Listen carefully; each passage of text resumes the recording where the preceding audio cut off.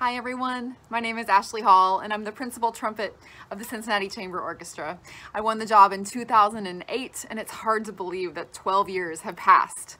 So when I won the job in 2008, my husband and I had just gotten married and we were starting our life together in Cincinnati. But two years after that, we were relocated to Minnesota for him to pursue his medical school path.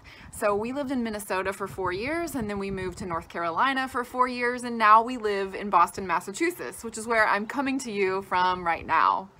The amazing thing about Cincinnati is it's always felt so much like home.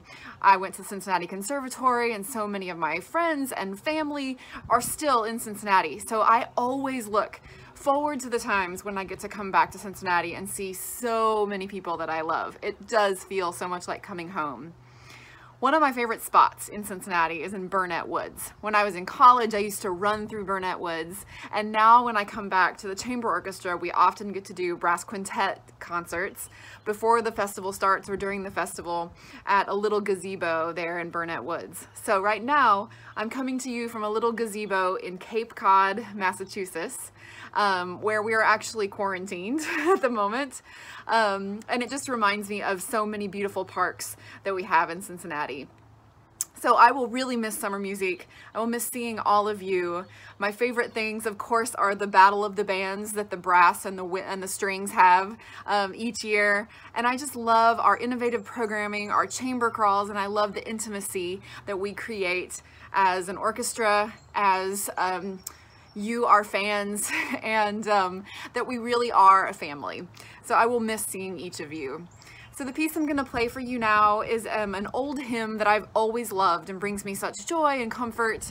Um, and it's something that maybe you will recognize as well. This is a hymn called How Great Thou Art.